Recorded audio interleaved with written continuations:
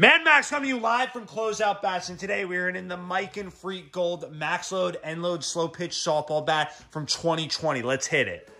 So this is going to be Miken Senior Softball Bat. This bat will be a limited bat, so the quantities will also be very limited. This bat will be for senior softball guys or for guys that play in a league where you can use any type of bat. This bat will be two-piece composite and feature a 14-inch barrel to it. It will still have that Z164N composite to it, and we'll also have that Z-Lock handle.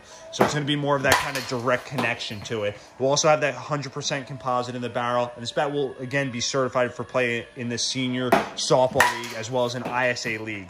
Uh, this bat also is going to be made in the USA and will not come with a manufacturer's warranty like all senior softball bats. How'd you like that Freak Gold senior bat? I like the Z-Lock feature on it. Very cool. Good grip. Awesome bat.